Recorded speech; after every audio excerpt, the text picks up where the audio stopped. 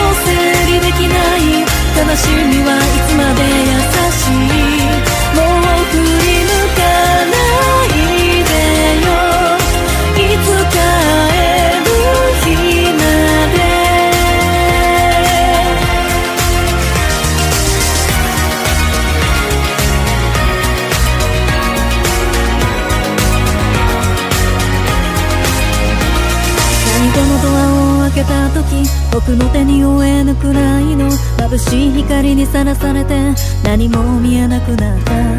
今まで外にあるものとずっと信じてた世界は誰の思い込みだったのか何かが間違ってたよ